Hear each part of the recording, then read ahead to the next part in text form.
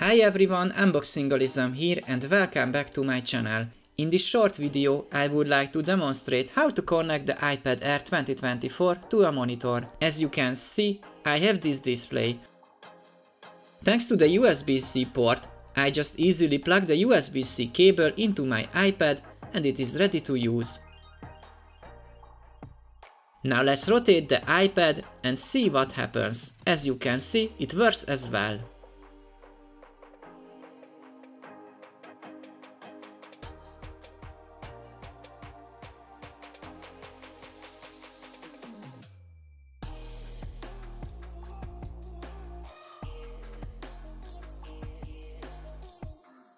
As you can see, I have an ultra-wide monitor as well. It has an HDMI output, so I need a USB-C adapter. Of course, if your monitor has a USB-C cable, you don't need it. This adapter is simple, doesn't require any special features, I bought it in a store a few years ago. But before you buy one, please make sure that the adapter is compatible with your iPad.